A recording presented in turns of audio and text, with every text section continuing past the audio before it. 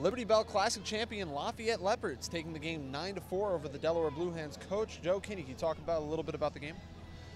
Our guys grounded, you know, grinded it out. Mark pitched a great game. We went into the eighth inning. That's the first time we've had a pitcher do that all year, and he only did it with 99 pitches, which is really economical uh, and, and important because we have a league game tomorrow. We play Lehigh, and really saved our bullpen. I mean, that was a, that's obviously winning's great, but to do that, it's just like it's icing on the cake. So that was really the story of the game. We ground out some at bats. Uh, Jake got us going. Their pitcher was doing a decent job mixing and a lot of also short innings for him.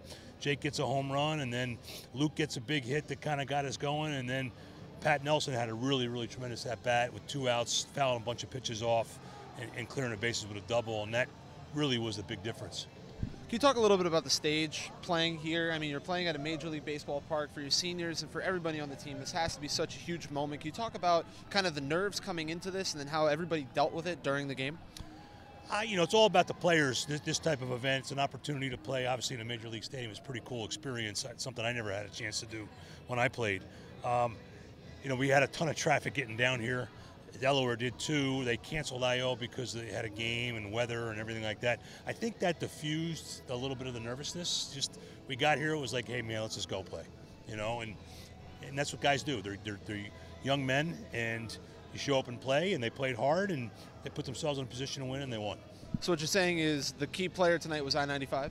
Uh, no, I mean the guy, this guy right here, really led the charge the whole way and, and the guys we already mentioned with you know the big at bats. Uh, that didn't hurt. I think it just it, you know if we got here and we had to sit in the stands cold and wait and not be able to take IO, sometimes a little frustration sets in. It was like, hey, just go and play. You know, just like when you're a kid. Well, Joe, congratulations. Good luck tomorrow against Lehigh. Thanks, John. Appreciate it. Mark Anderson, seven and a third innings pitched, two runs given up on four hits. Can you talk a little about your performance tonight? Um, you know, with the weather and everything, it was uh, it was kind of tough to get going, and obviously we didn't have a whole lot of time. So I don't know. I just try to keep it simple. So I heard you're a diehard Phillies fan. Can you talk a little bit about what it's like playing here at Citizens Bank Park? Yeah, growing up, uh, you know, watching a lot of games here was it's really cool to have an have a time experience like in the same ballpark as a lot of great great Phillies that I've grown up watching. So tomorrow you go to Lehigh. Can you talk a little bit about your preparation now? You're going back to league play, back to games that we need to win so we can get into the Patriot League tournament, Patriot League playoffs. Can you talk a little bit about how the mindset now changes coming off this incredible high?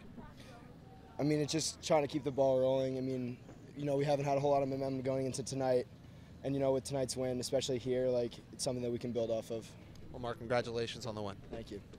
That'll do it here from Citizens Bank Park. The Lafayette Leopards are Liberty Bell Classic champions with a final score of 9 to 4. Tomorrow, they play in Bethlehem against the Lehigh Mountain Hawks at 3:30. For everyone here at the Lafayette Sports Network, I'm John Sabino.